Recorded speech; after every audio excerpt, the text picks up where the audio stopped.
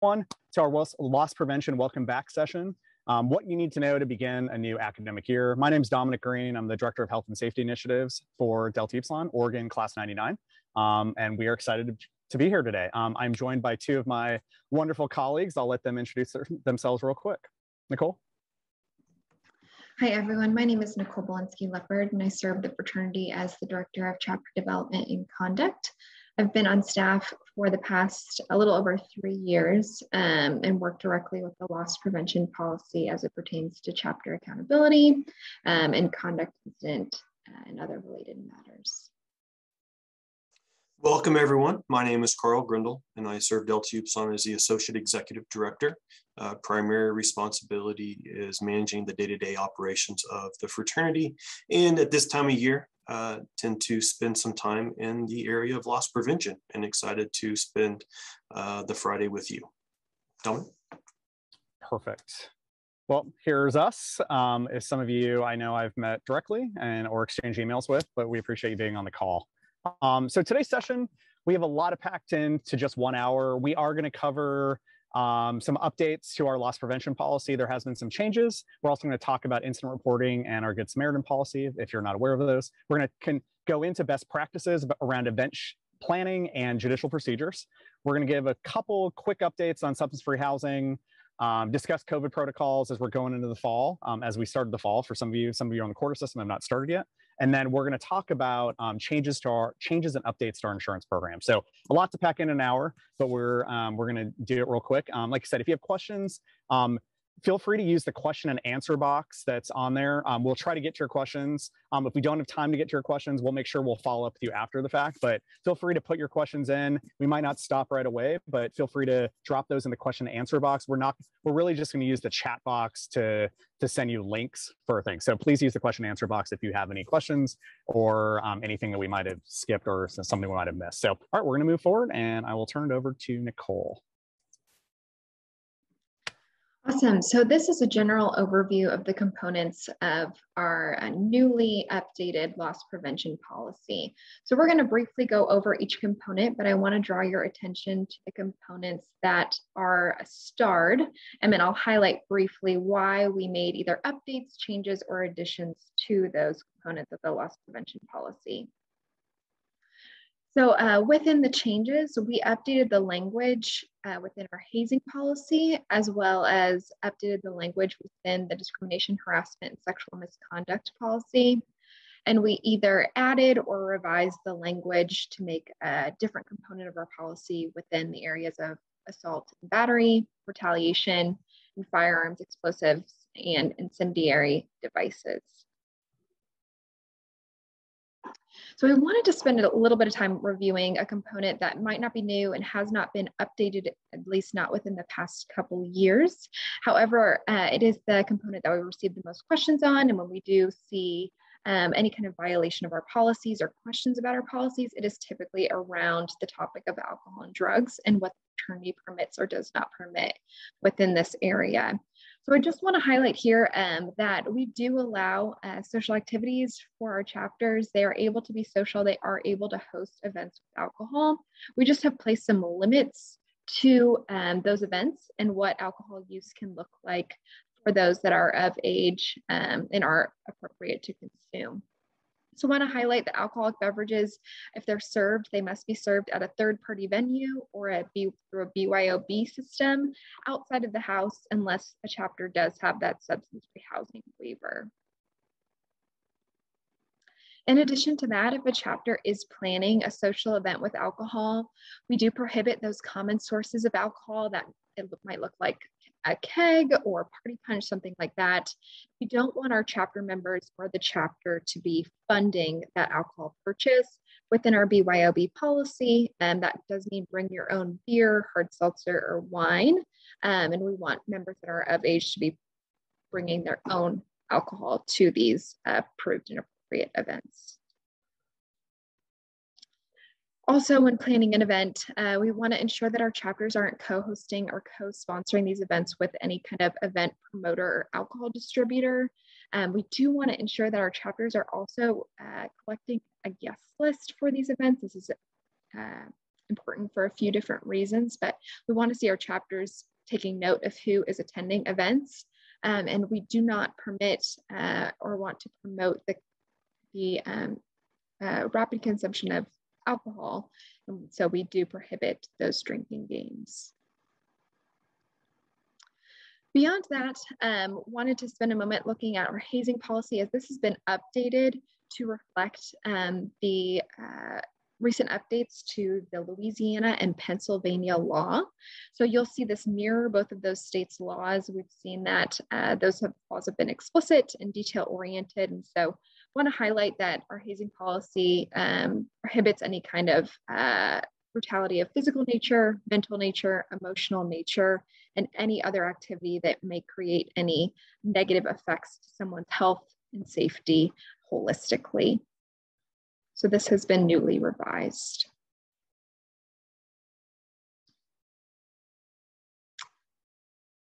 We could go back just one slide. Um, additionally, we edited our discrimination, harassment, and sexual misconduct policy. Um, we updated this to be a little bit more explicit in that each chapter must follow the uh, state, local, federal laws as it pertains to sexual misconduct. Um, and we're encompassing those laws within our policy reflected per the state. Um, so this includes but not limited to the definitions around consent, sexual violence, sexual harassment, domestic violence, dating violence, stalking, and sexual exploitation. Next, we have a, a, a little, we revised um, our physical assault policy to now be assault and battery, which prohibits fighting and physical altercations with the exception of any kind of self-defense, and also defines what assault and battery might look like as it pertains to the state the chapter is located. Next, we have a new policy um, encompasses retaliation. So we prohibit any kind of retaliation to any member or chap member or non-member um, or chapter for reporting or inquiring or cooperating with a report around a violation of our loss prevention policy. We want our members in the community to feel at ease in reporting any kind of incident. And so we've established this policy to enforce that, uh, hopefully a greater level of comfort in reporting of any kind of loss prevention incident or health and safety incident. Next, we revised um, our fire health and safety uh, to take out and be more explicit around the firearms, explosives, or incendiary devices. Um, this does include anything from guns to uh, fireworks. So we are prohibiting that regardless of state law at any kind of chapter event or at the chapter facility. And last but not least, within our policy, there is there still remains the fire health and safety component. It just looks a little different um, and urges our chapters to follow all local fire codes, inspections, and authorities' recommendations, and does include candles um, that should only be for use during formal ceremonies. Perfect. Thanks, Nicole. Um, just to let all the advisors know on the call that we can email you a copy of the um, that has what was changed from the previous policy. So what we can send that out um, after this call. So we did drop in the current policy, but it, we wanted to let you know that we do have, if you're curious what language did change from the previous policy, we do have that available as well. So um, we can't send it as an attachment via the chat box. So, because, you know, modern technology. So I, we also did want to cover, so Nicole, good segue. Um, obviously, with our some of our updated language to our loss prevention policy, we did want to just remind you about incident reporting. Um, so our chapters have been pretty good about this this already this fall, but we want an opportunity to let you know we do have a section on our website for incident reporting. So this could be from a minor minor injury you know someone might have had, to go to the hospital because they slipped and fell and you know and maybe broke their break, broke their wrist or it could be something a little bit different. Um, it could be something that someone was hospitalized at an event whatever that might look like. So whether it be small or large um, it's best we really want to emphasize it's best to let us know about this. We are here to help you and especially help you your chapter um, help you as an advisor to really kind of get through a situation. So if something minor happened you know, we will definitely follow up and just be like, hey, what happened? Um, this happened recently that we had an issue with a um, something that happened in the off-campus uh, chapter house, um, and it's it's good to know we can walk through a situation. But if it's a little more serious situation, we want to make sure that we are taking care of our our students. We are making sure that the person per person or people that were involved in an incident are taken care of? What kind of follow-up do we need to do? Do we need to do any kind of, we'll talk a little bit later about crisis management, but what other follow-up do we need to do? And in some cases, we might have to um, contact our, our insurance carrier um, if there is a, a, larger scale incident that happens at either our chapter facility or at one of our chapter events. But we definitely just want to emphasize we're here to help you. Um, and it's much easier for us to help you when we know about the situation right away. Um, as someone, I was a former chapter president, former chapter advisor,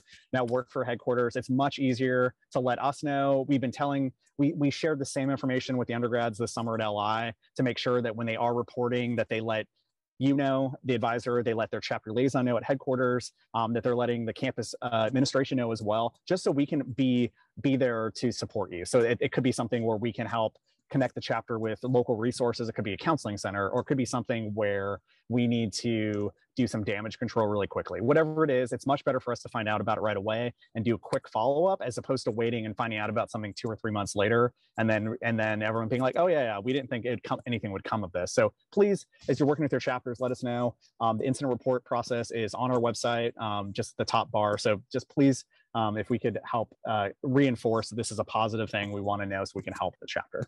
Um, because of that, when I would say positively, so if there is any kind of medical situation um, that in, involves any kind of medical emergency, we do have our medical Good Samaritan policy for individuals and for chapters. So we mentioned before. So I've gotten many times as a chapter liaison, I've gotten a text or a call late at night um, and being like, hey, I'm going to send you an email. I also filled out the incident report process, but we want to, this policy is designed, especially after the Timothy Piazza death, at Penn State um, in 2017 for Beta Theta Pi. Um, every national, international organization created and adopted a medical Good Samaritan policy. Most of your campuses should have one as well, but it's really there to protect individuals to never have them feel worried or afraid to call 911, right? So we want them to make sure that first and foremost, call 911, get that person medical attention. This could be a guest. This could be someone who stumbled in your chapter facility and just passes out on your, could be in the front front lawn. This could be something that passes out at a, at a party. We never want them to say, oh no, we are already in trouble. We don't want to call to get this person help. So this, the reason why we have an individual policy, that's really sometimes chapters worry that if someone is already on probation individually for at a local chapter, they're worried that if their roommate has to get hospitalized, that they're like, oh no, I'm gonna get in trouble. My roommate's getting in trouble. Like that's not the case. This policy is involved for, it's really for medical um, med medical purposes. Get that person medical attention. Don't just throw them in the back of a pickup truck and drive them to the hospital. Call 911, get that person proper medical attention, um, and then we will follow up. How this works is um, we will definitely follow up with the chapter. We'll definitely follow up with the members to make sure they're okay, but they're not going to be going through any kind of judicial procedure because we have this medical Good Samaritan policy. We want to make sure that people never hesitate to call 911. So if you have any questions about this, um, it's also embedded in the loss prevention policy as well, the full language for both the individual and chapter. But please, as continue to remind your chapters, as I've been on the road and continue to talk to chapters, this is something they always seem to be very interested in and knowing at least a little bit of um, I would say um, uh, rest assured that they know that we are there to, to, support them if something happens. So we want them to report things. And then if it is a medical emergency, we want them to call 911. So let us know if you have any questions about that um, as we go forward. So also wanted to just cover this as well. Um, if there is some kind of crisis situation, so this could be something that the chapter was involved with, or it could be a campus situation. So chapter situation could be something where um, where there was a hazing incident that happened. It could be a sexual assault incident that happened specifically with your chapter at your institution. In other cases, this could also be a, a crisis situation that happened that's happening on campus. Um, you know, I worked on a previous campus before where um, someone at night spray painted the word rapist on every chapter house on campus. So spray painted outside, you know, all the chapter houses were owned by the university, but the but our chapter as well as all the other fraternities on campus kind of had the oh no what do we do? moment right? These are things that we can help. Um, obviously um, if there's any kind of uh, media follow-up we'll work with the chapter. Um, we also want to make sure that we, they follow crisis a crisis management plan that they know exactly who they need to call who they, as we mentioned before through the incident reporting process and medical good samaritan who, who the right people to call with but also we can help you deal with the media. Sometimes it's talking points um, in, a, in a crisis situation, the only person who's, who's allowed to talk is our executive director for the fraternity. But we want to make sure, though, that we best support you to how to handle a situation because the last thing we want is, as we've seen on some campuses recently, um, there's been protests outside of fraternity houses, or there has been major major pressure from the school newspaper or major, you know, asking questions or people parked outside, like asking our fraternity members for help. Um, so this is not our help, but this has happened on other campuses to other fraternities. We want to make sure that we are there to help you.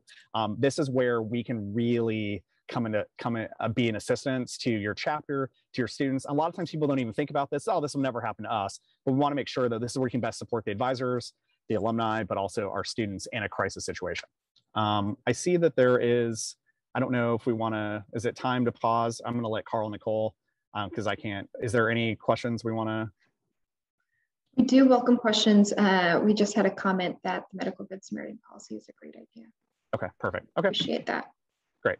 All right. So let us know if you have any questions more about that. But um, we do have a crisis management um, uh, plan that is in that was dropped in the chat box. So please make sure that you have an opportunity if you have not utilized that in the past. Please, please, please um, make sure that you're taking a look at that, that you have a conversation with the chapter. Let's not wait till after an incident to be like, wait a minute, how do we handle this? How do we do this better? Let's make sure you are prepared to handle a small situation or a large situation and, and then how we can best help you in that process.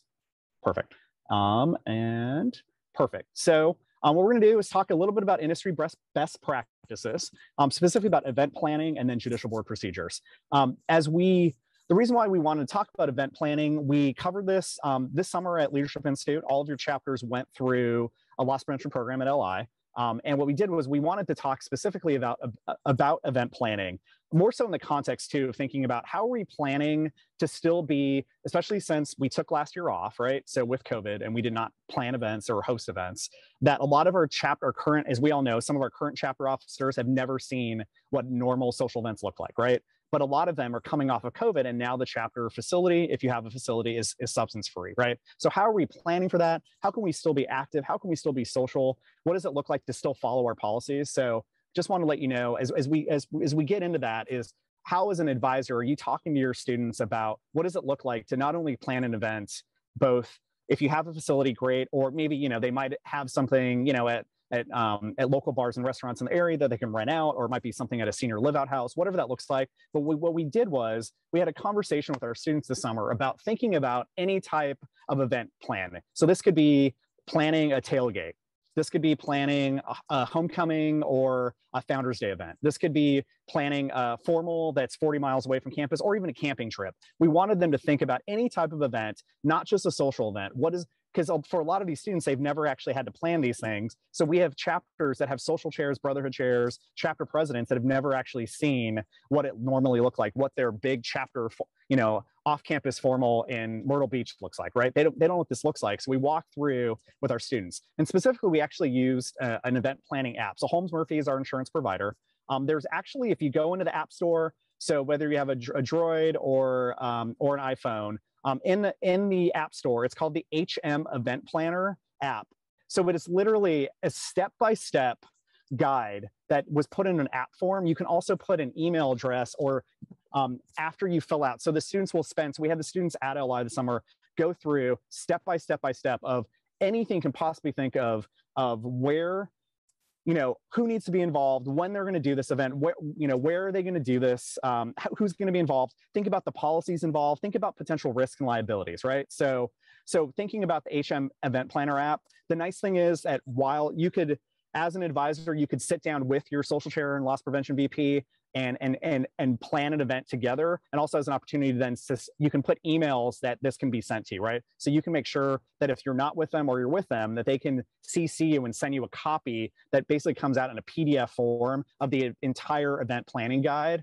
Um, we also have in the, the event planning guide is an opportunity that's also that's something that's on our website as well so it's an opportunity it's a very large document kind of a kind of like a paper form. So those of you that are not necessarily into using an application form, there is a guide that steps that you name, they'll ask you about transportation. Like how are you going to get there? How are you going to do food and beverage, you know, all the things you need to think about to, of creating the safest, most fun event, but we want to make sure it's important. Um, and also just kind of reinforcing to tell our students that this is a great way when they're starting to think about planning events. So let us know, but also as you're working with your students is making sure as they're planning any type of event, um, is thinking about what kind of loss prevention policies need to be thought about, or considered when planning an alumni tailgate versus you know something that is a brotherhood camping trip or it could be a date party at the local bar down the street right? Whatever that looks like um, and then making sure that they're they're planning these things well enough time so everyone's involved everyone knows what's happening. Do you need to register with the university? All those things you might need to do.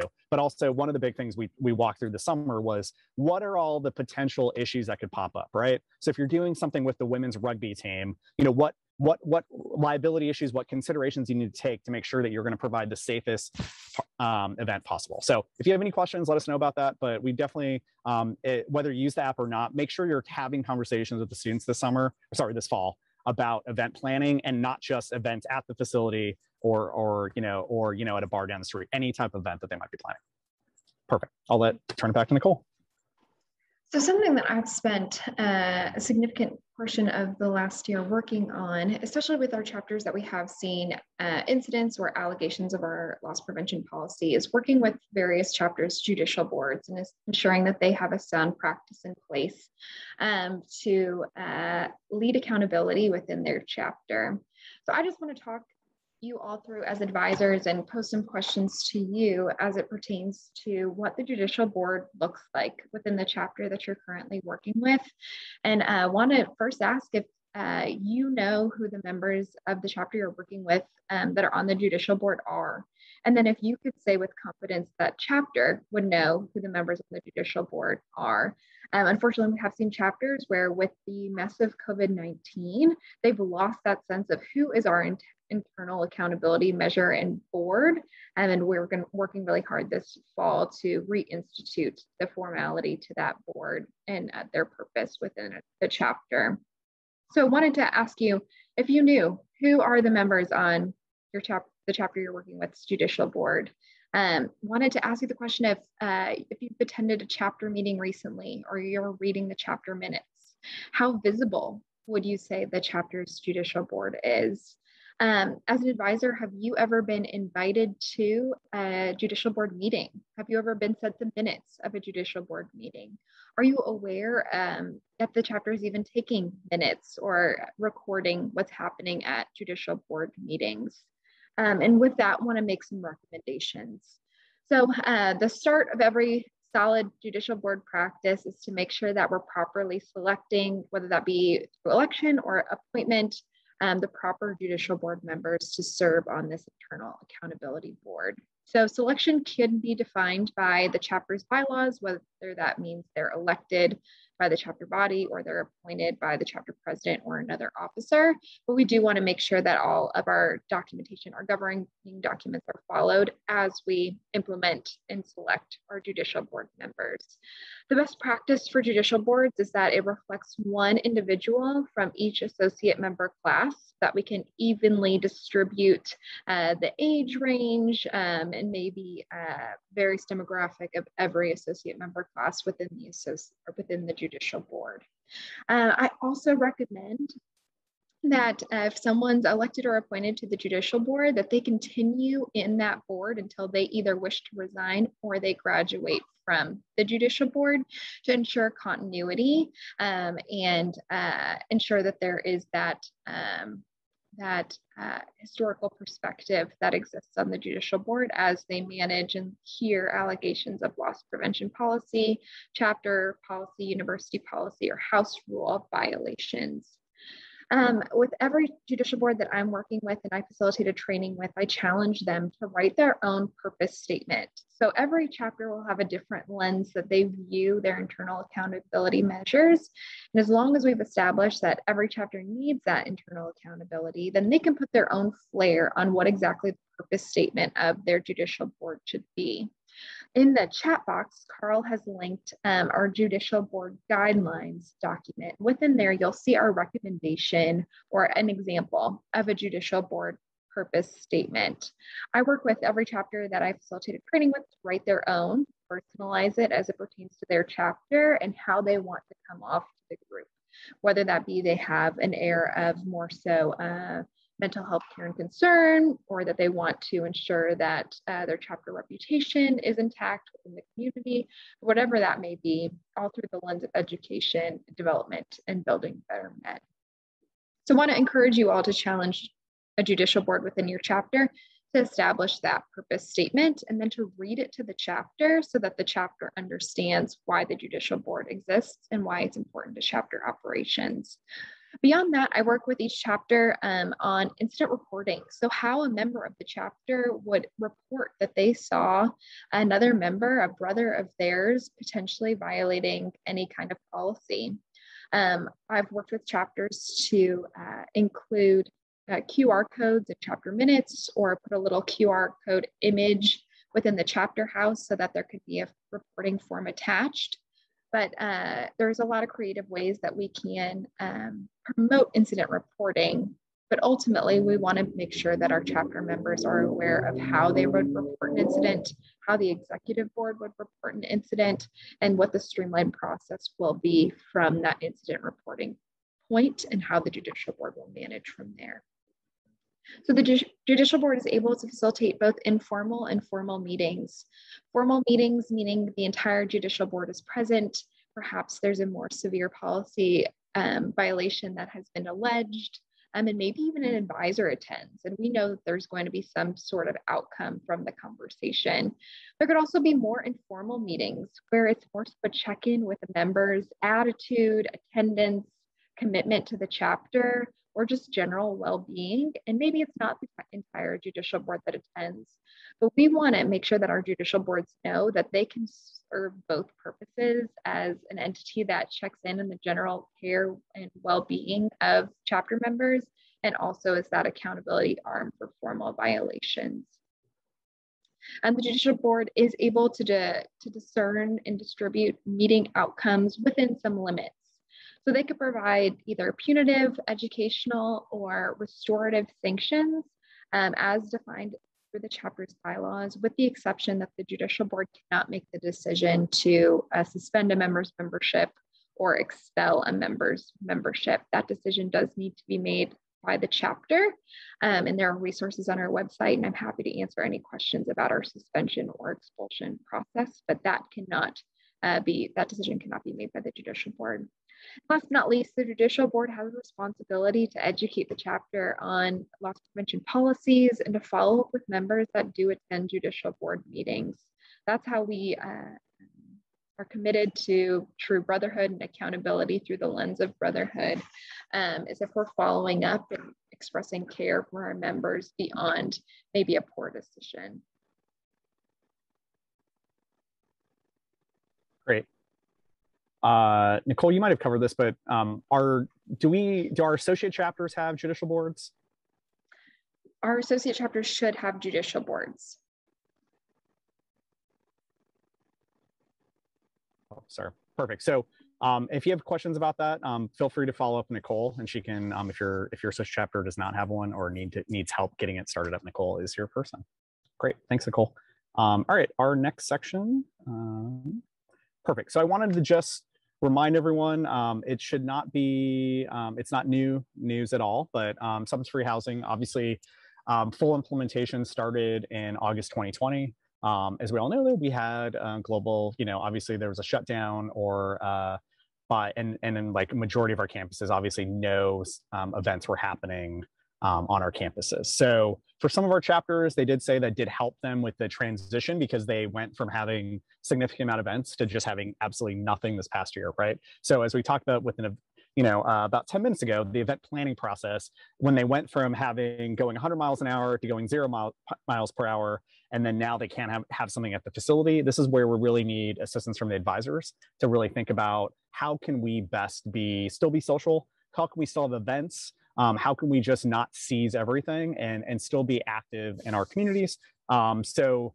um, uh, we just dropped the, there's a free housing page, resource page on, on, uh, on our website. So if you have not seen that, um, so whether you have a facility or you don't, um, we've been talking to a lot of our chapters, especially this summer, um, is thinking about what does it look like to, when you had maybe in the past very significantly large social budget, right? This was going towards just social events, parties, whatever that might look like, is switching some of that programming to brotherhood events, right? So how can we shift that budget that was going towards event rental spaces or having to, to, to pay for things at the facility, specifically around social events? How can we shift that to brotherhood events? How can we maximize both informal and formal brotherhood events at that facility? Maybe that means paying for more food at informal events, whatever that might look like. A lot of our chapters also started shifting to doing substance free social events with sororities, right? So this could be um, pumpkin carving with the sorority. This could be, um, this could also mean shifting like an event that you normally have with XYZ sorority. Well, you know what? Now we're going to go bowling with that sorority off campus. So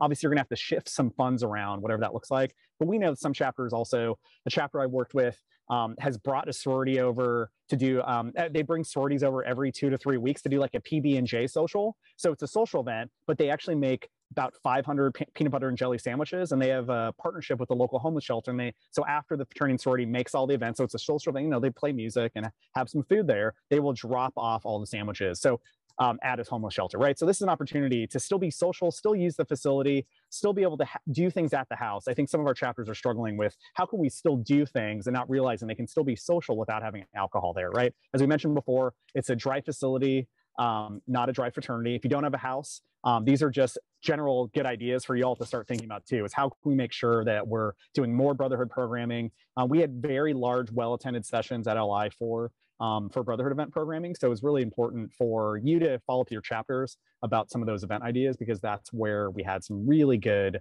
key ideas. Just want to let you know we also do have some other peer organizations that we that are currently also substance free. So Beta Theta Pi, Sigma Phi Epsilon, if you have a farmhouse chapter on your campus, um, Phi Delta Theta as well. Some of our Phi Gamma Delta Fiji chapters do have a waiver process. Um, so some of them are dry, some of them are not, but it kind of just depends on the actual, um, on the actual chapter. So just let you know, speaking of waivers, um, so our waiver program did start two years ago. This is the second year, final year of the program. Um, we have nine of our currently housed chapters that are under the waiver program. So um, if you don't have a waiver, you don't know what the waiver is, don't worry about it. The waiver allows our chapters for two years to an extension and to give them a little bit more time to transition to full substance free housing. So they're allowed to have a limited number of social events um, and they are allowed to um, have alcohol in their in, in their actual private private rooms. Um, I will I did want to let you know though that any chapter, regardless of um, whether you're substance free or not, um, or you have a waiver or not, every chapter is allowed to have a, a, alumni.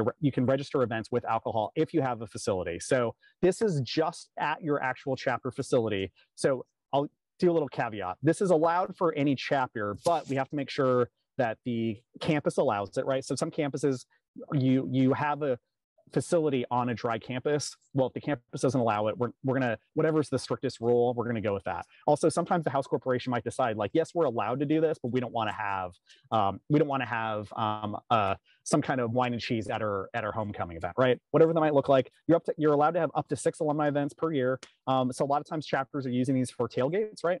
Um, this could be also Founders Day events, homecoming events, whatever it might look like. It can be BYOB or third party vendor. Um, and there is a, reg a, registration process on our website. So if you go on the Substance Free Housing web uh, website, scroll down, it says an alumni registration process. You just click on that. Um, if you're going to register the, your remaining four or five tailgates, you can just do it all in one form. So we've had a couple chapters that have done that already this semester, but this is allowed. So if you're thinking about wanting to do something, um, please make sure you register it um, and then contact me if you have any specific questions um, to walk you through what it could look like. Some chapters have also um, struck up a deal with a local catering company so you can have someone come in like a third party vendor and then and they can actually just they can deal with serving uh, beer or wine. Um, just let you know, and any particular thing, if you're doing something at a, at your facility, hard liquor, anything above 15% ABV or 30 proof is not allowed at these events. So it's really just beer, or wine, white claws, um, you know, cider, whatever it might look like. So just let, if you have any specific questions, uh, there is an also a guide on the substance free housing page that does break down what is above 15% and what is below 15% ABV. So if you have any questions, but please let us know. But we just wanted to make sure promote this more that um, chapters with facilities are allowed to have events if you if you choose to, right? Or if it's allowed. So perfect. And then finally, just some standard protocols for COVID. Um, we have had some recent issues pop up with some of our chapters and just on other campuses where um, even campuses where vaccines were mandated by the campus that we are having some issues where um, we're still having some COVID outbreaks, right? So these are things. So just wanted to, as you work with your chapters, to please remind them to um, to if they're having events, to limit capacity, do as many events as possible outside. Um, if, if the local guidelines talk about masking or um, or if they're still calling for weekly or biweekly testing, make sure your students are taking part in that. Um, we're having issues specifically. Um, you know, we don't want any outbreaks. We, have had an outbreak already on some campuses um, that you know that ever you know was 100% vaccine mandated. They're still having outbreaks on campus because they weren't doing testing. So I know every campus is different. Um, this is really just a reminder is being having students be really smart about things. We're seeing campuses that came in and started the school year um, with no limits on anything. And then a week or two later, they're saying, you know what, you can't have more than 25 people in a room together. So mind you, if you have a chapter facility that 30 or 40 people or 80 people live in, what does that look like for your local meetings? Does that mean your meetings have to go back to being Zoom? Can you do your meetings outside? What, are, what does that look like for you to make some um, to make some accommodations at least right away to try to get some of this stuff under control. We, we don't want, you know, everyone's biggest fear factor is that, you know, that campus is going to get shut down or that people are going to get sent home again. Um, that's not what we want. I know that's not what you all want. We just wanted to remind you all that we're seeing some things pop up even on campuses or, or chapters that are like 100% vaccinated. So just think about that um, to make sure as you're as you're talking through or walking through or anything. So, sir, okay, perfect. Dominic, there was one question related to the prior topic about alumni events. Can yes. undergrads be charged for attending alumni events?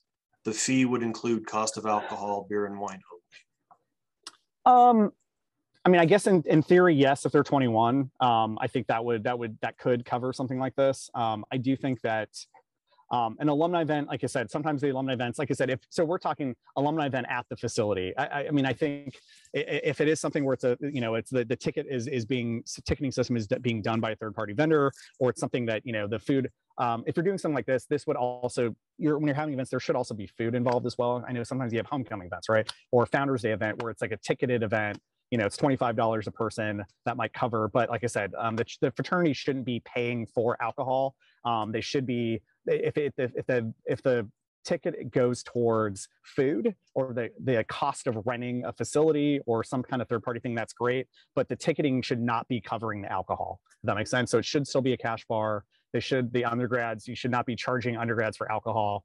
Um, and the alumni, like I said, um, that's why sometimes a lot of alumni, when we first launched this alumni registration process, the, the thought of having to charge people or have a cash bar, whatever that looks like, which is why we allowed BYOB, as long as you're still following our BYOB guidelines and our loss prevention policy, we were going to allow that as long as it's monitored, that it's not just a free for all, that it's some, someone is there distributing and they're checking IDs, whatever that looks like. So if you have any specific questions, feel free to reach out to me. Um, but make sure that you know that the undergrads can attend alumni events that there's alcohol present, but making sure that they are 21 and that the the ticket is not going towards alcohol it's going towards the cost of you know other other related things.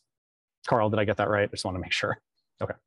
You did yeah. thanks. I okay. mean to me the piece is yes undergraduates can attend um, and only those that are uh, of age to drink can drink and any drink that is consumed needs to be purchased um, at that time. You can't purchase by tickets or other allocation perfect all right, and if you have any specific questions, uh, feel free to follow up with me after this. Our contact information will be on the last slide and we're done. Perfect. All right, I'm going to turn this over to Carl um, if you have um, to talk about insurance.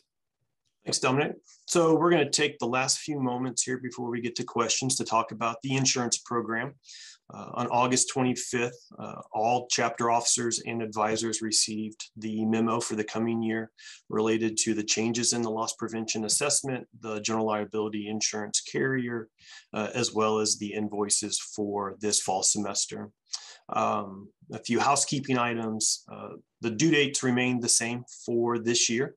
So September 15th uh, is the primary due date or was the primary due date for uh, the loss prevention assessment to be paid. It's also the deadline for membership rosters and other fees to have been paid by. Um, there are a handful of chapters that do have an extension until October 1st.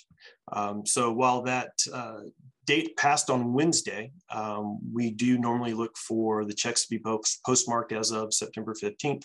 Um, but if there is a significant issue or challenge uh, your chapter may have in paying those fees, if they can contact me directly, uh, we'll do all that we can to find a reasonable um, solution for the chapter moving forward so they're not uh, penalized.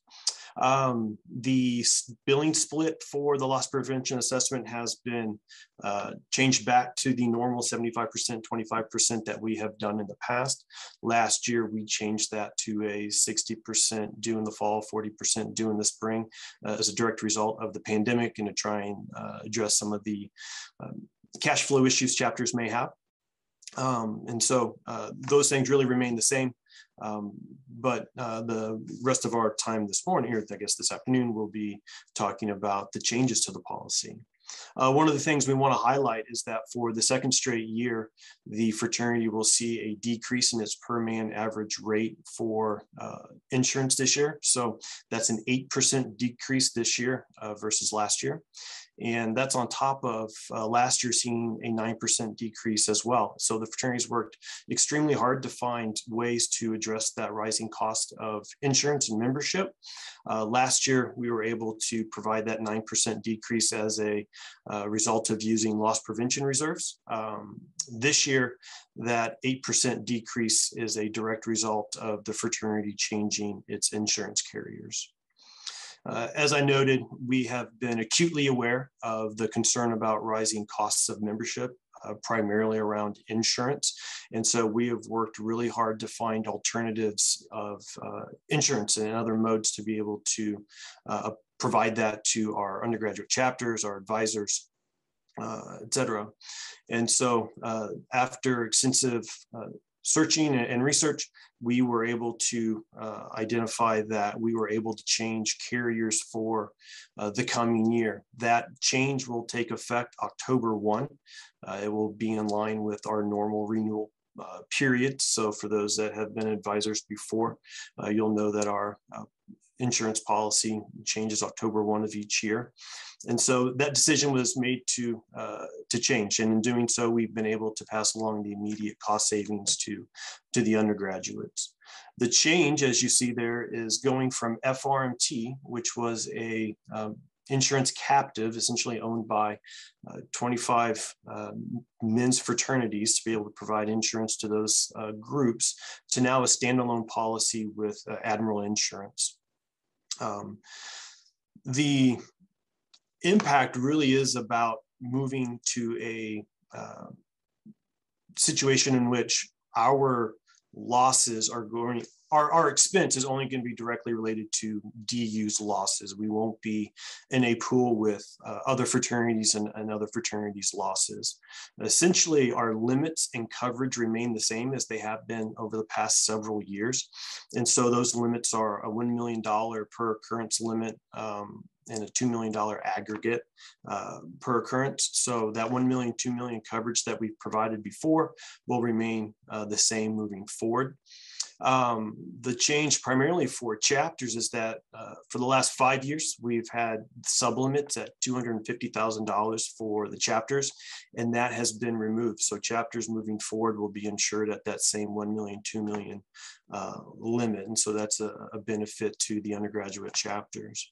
Our general liability policy does apply for the undergraduate chapters, alumni chapters, house corporations, um, the advisory boards, advisors, uh, educational foundations, if there is a local foundation, and all of those entities do receive uh, the full limits uh, as it relates to that insurance policy.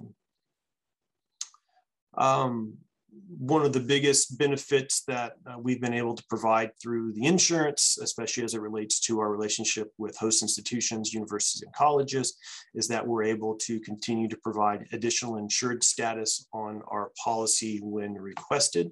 Um, again, a lot of times that comes through a relationship statement or uh, an expectation by university or college. And so we're able to continue to provide that. Uh, on other instances, there may be the need to name an event location or a vendor as an additional insured and depending upon those um, requests, we can most of the time uh, approve those. And you can send me any additional insured requests in the future and we can process those accordingly. Uh, and then in addition, specific to our Canadian brothers, um, there have been questions about uh, having a policy admitted in Canada and in line with Canadian law. In this change to Admiral, they have a sister company, Berkley Canada, that allows us to have an admitted policy there in uh, Canada. And so that's a benefit um, uh, for the organization as well. You'll see that um, also in that memo we sent on August 25th, we did address uh, a change within the directors and officers coverage.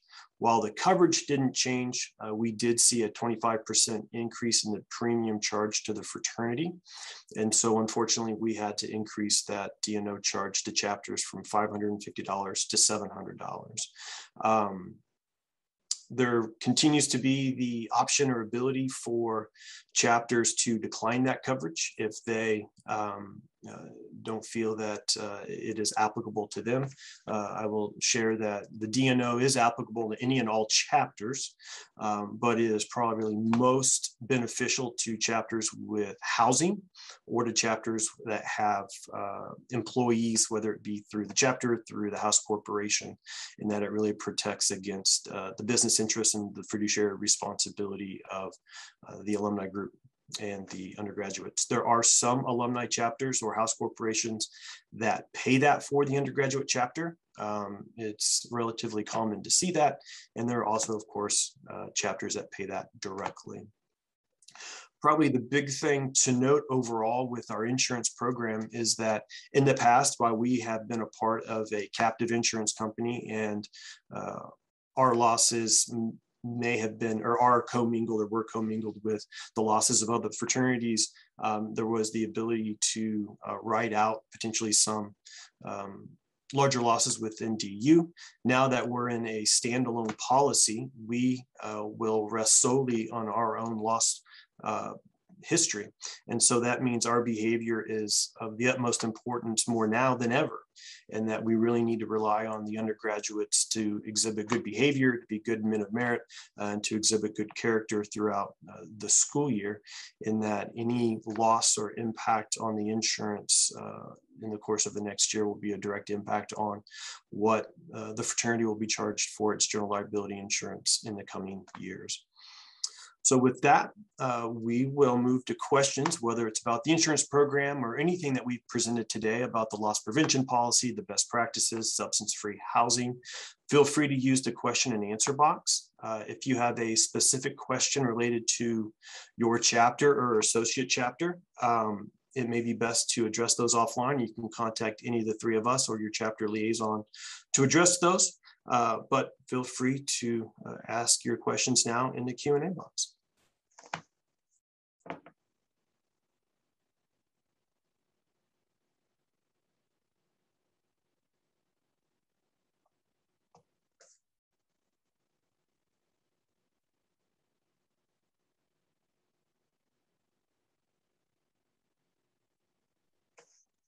I,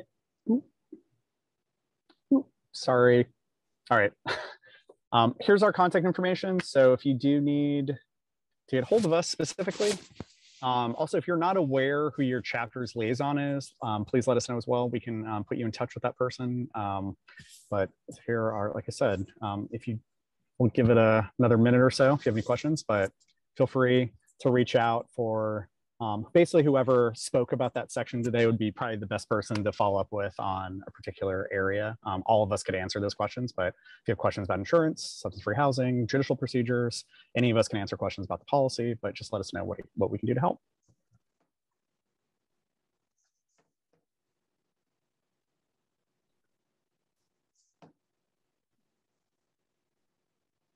All right. Well, okay. seeing none, it sounds yeah. like everybody started their weekend. So, uh, Dominic, go ahead and close us out. Oh, wait, did we get a question? Oh, yeah. Oh, um, uh, yes. Uh, we'll put the link to the alumni registration process. Um, yes, and actually, and Kathy, I can email you directly with that. Um, but let me, but if, unless someone has it handy. So, oh, perfect. Great. Someone could do that. Perfect. Great. We appreciate you being here. Um, please let us know if you have any questions. If not, have a great weekend and we will see you all soon.